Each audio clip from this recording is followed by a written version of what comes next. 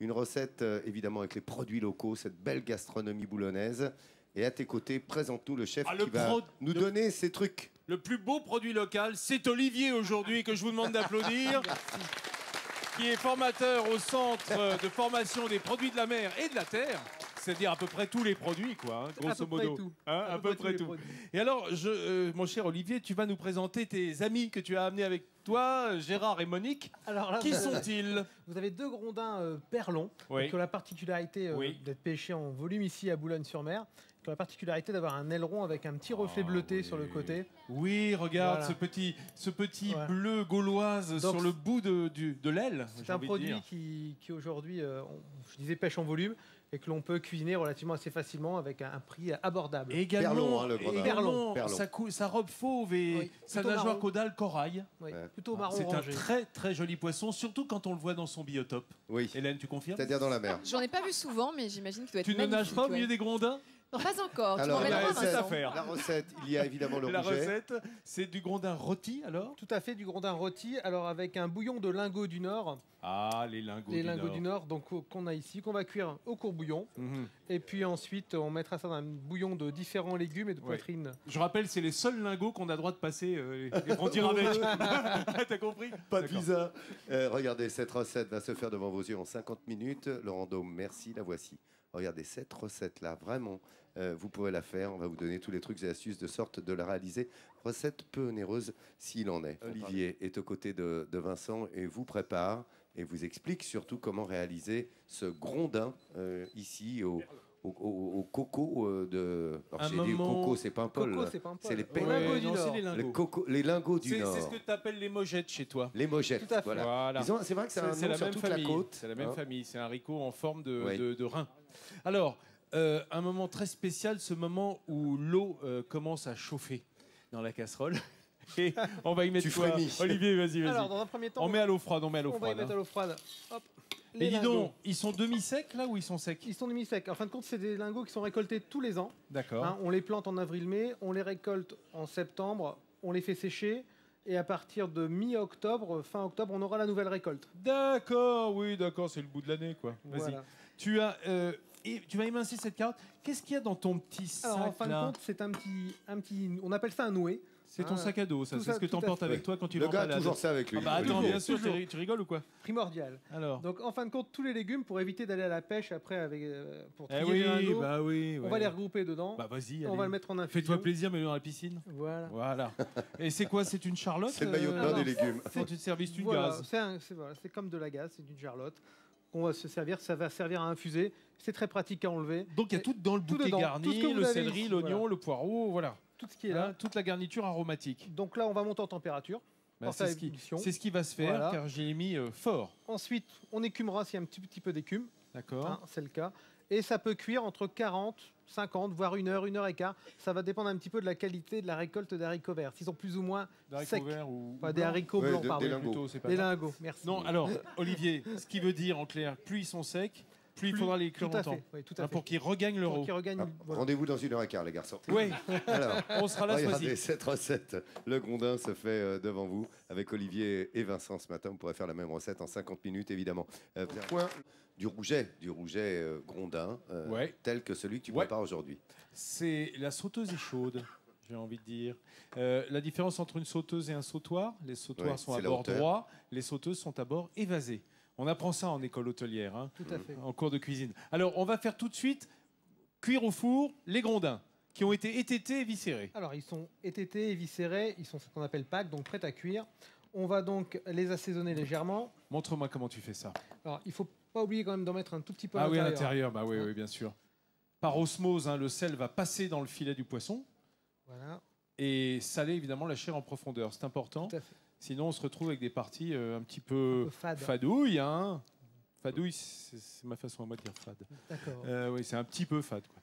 Alors, un petit coup d'huile d'olive, produit contre, pas éminemment régional. Non, mais très bon pour cuisiner le- les produits de la mer. Bien sûr. Là, on va être un petit peu généreux parce qu'on va quand même le passer au Que four. tu es généreux. Oui, Olivier, c'est normal avec ton prénom. Olivier est généreux en huile d'olive.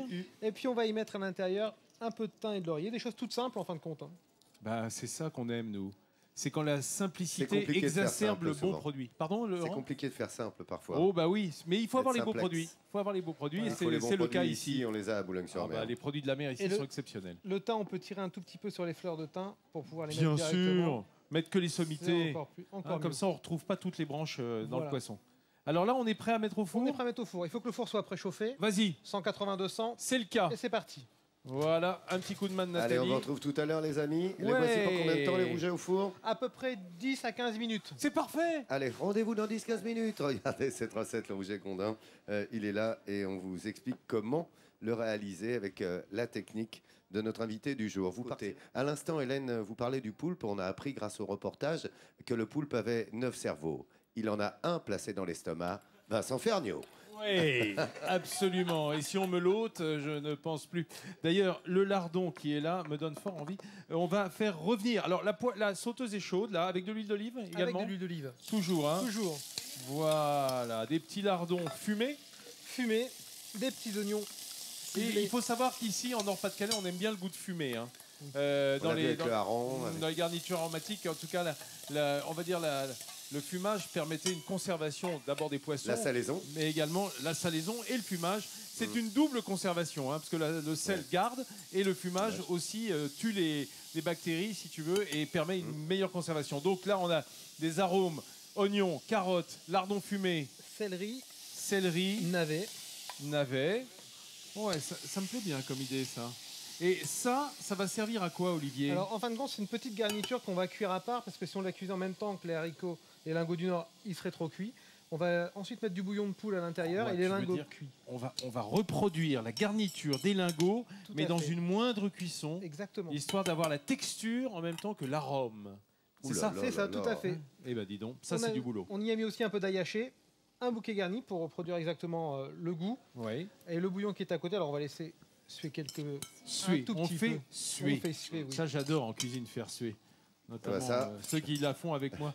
On Et- pousse pas Il n'y trop a pas non qu'en plus. cuisine que tu fais suer Je te remercie Nathalie. Absolument. Je ne manque jamais une occasion de faire Jamais. suer. Jamais. Hein, voilà, on fait suer pour concentrer les arômes, pour que l'eau de végétation se retire et pour concentrer en définitive toute la, la garniture aromatique. Notre petit fumé, là, notre bouillon, Le bouillon de poule. Donc lui, euh, il est euh, tempéré. On va pouvoir le mettre dessus. eh ben vas-y donc. Voilà. Et il y en a Te pour, gêne pas Olivier, Allez. fais comme chez toi, tu sais. Enfin, je sais pas si chez toi tu fais comme ça. Si, tu cuisines en plein air aussi? En plein Ah, air, non, ça m'arrive euh, exceptionnellement, mais ça m'arrive. Ouais, j'espère. L'été, comme tout le monde, quand il fait beau sur la côte d'Opale. Exactement, quel bonheur.